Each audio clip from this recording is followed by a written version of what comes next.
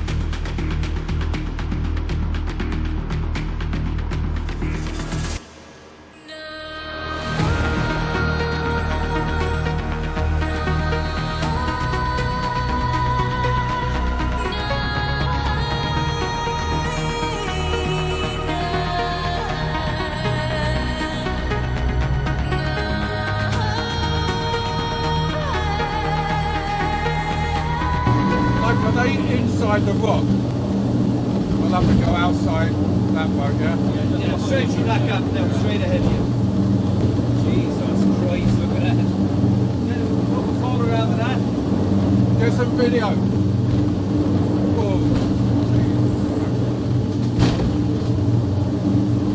Wipers, In there now. wipers.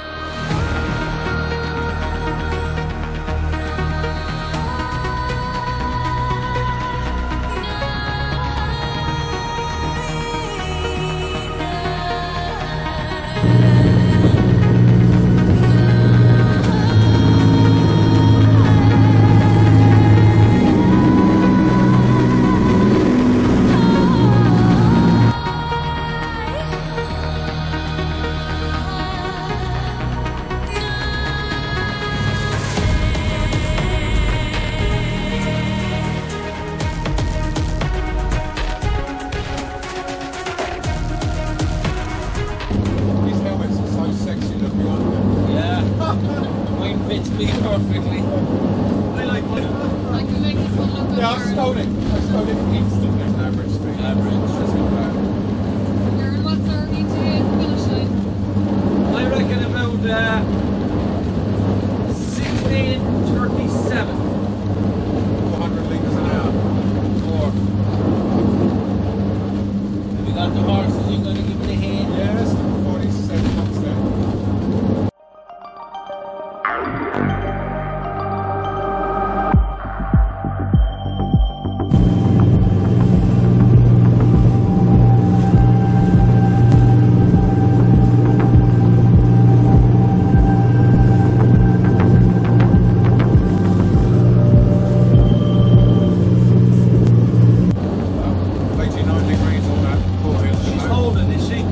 getting any hot over. I wouldn't want to.